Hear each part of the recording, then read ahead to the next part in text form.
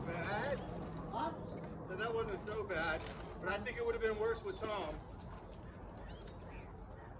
Tom wanted to do all my roping.